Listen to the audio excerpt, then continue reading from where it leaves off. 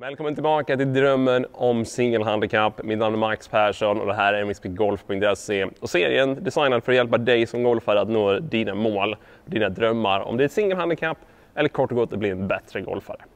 Och vi är inne på att snacka lite bollträff och drillar för att träna bollträff och det viktigaste kanske, eller det bästa sättet att göra det är ju att få feedback på hur du faktiskt träffar. Om det är med impact spray eller om det är någonting annat som hjälper dig att se, okej, okay, vart är faktiskt träffen? Och nu förstår vi också bättre hur det här faktiskt påverkar våra slag. Och bara för att upprepa mig och göra det ännu tydligare. Bollträffen hjälper oss att få en bättre, mer konsekvent bollflykt riktningsmässigt, alltså om den går höger eller vänster, men också längdmässigt. Och ju bättre och mer jämn träff vi har, ju bättre och mer jämna golfslag kommer vi att slå. Så enkelt är det bara. Men frågan är ju då om jag använder min impact spray, jag märker att max, jag har en variation på träffen, om den är tån eller hälen eller upp eller ner eller vad det nu är. Vad gör jag? Det finns massor av olika saker att göra. Nummer ett, och num kanske återigen det mest pedagogiska sättet är att hela tiden få feedback och lära sig att känna. Okej, den där var på tån, det ser jag, den kändes så, den där var på hälen, det ser jag, den kändes så. För då vet jag också hur jag kan utveckla och träna. Men om jag behöver lite drillar, hur gör jag då?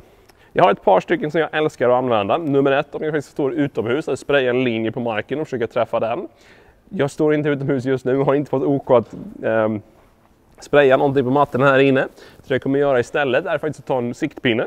Och många av er kommer känna igen att ja, men vi placerar siktpinnen mellan fötterna på det här köttet. Och vad jag kan göra med den där siktpinnen är att utan boll till att börja med tränar på att om jag börjar med klubban på den bakre sidan av siktpinnen vill jag sen att min klubba tar i marken på den främre sidan av siktpinnen.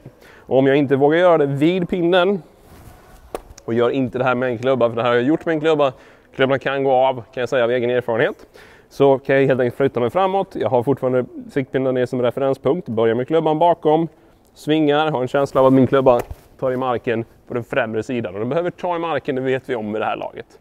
Jag kan också slå bollar på samma sätt, så jag placerar bollen framför siktpinnen, rakt framför. Tanken är att jag använder siktpinnen nu, klubban är placerad bakom. Flytta fram bollen lite. Målet är att ta med klubban i marken framför siktpinnen. Se om inte det hjälper oss med träffen på bollen. Så det är den första övningen och den fokuserar helt och hållet på att få upp träffen mer mitt i bladet, undvika toppar, undvika duffar, få bättre kontroll på det vi kallar lägsta punkten. Det jag också kan göra är kort och gott att fokusera på att min klubba ska borsta gräset eller borsta mattan, i det här fallet framför bollen. Så att om vi tänker oss att jag tar i marken och fortsätter i marken framåt för att slå upp en torv om jag hade varit på gräs, då vill jag att den är framför bollen och inte bakom bollen. Så känslan kan vara att jag står här, svingar, borstar gräset framför, borstar gräset framför och sen slår igenom med samma känsla. Två övningar som går att göra alldeles utmärkt på en matta eller på en ranch med tydlig feedback, även om många, precis som jag själv, tycker att mattan kan rädda oss lite grann ibland. Har en tydlig bild med tydlig feedback, då kan jag träna väldigt bra på bollträff, även på matta. Men säg vi en spelare som inte har problem att träffa bollen mitt i, i alla fall höjdmässigt, utan däremot har variationer när det gäller ut mot tån eller in mot hälen, då tycker jag om att använda övningen som jag kallar för porten. Porten innebär att jag använder mig av två stycken bollar utöver bollen jag ska slå och skapar just som det låter en port vid bollen på det här sättet. Och den ska kort och gott guida mig in med klubban på rätt ställe. Just nu har jag varit väldigt, väldigt snäll, men många av er kommer märka att även om jag har 3, 4, 5 cm mellan bollarna och klubban kan det ändå vara väldigt jobbigt för mig rent visuellt när jag ställer upp den här bollen att fortfarande undvika de här två. Som ni ser på kameran, det här är inga problem, klubban borde kunna ta sig den vägen. Men för säkerhets skull börjar vi brett isär med bollarna. Och kan därefter, lite beroende på hur vi är som spelare, hur bekväma vi känner oss, är det så att jag kände att okej, okay, det där var på gränsen, jag vill inte ha dem närmare än så. Bra, då håller vi oss där och tränar. Är vi lite kaxigare, känner vi att ah, men det där var inte nog utmaning, du lägger dem lite närmare igen. Det ska inte vara omöjligt, det ska inte på något sätt vara så att du, det kommer slå bollar överallt, utan de ska vara irriterande men långt ifrån omöjliga. Då kör vi samma sak igen.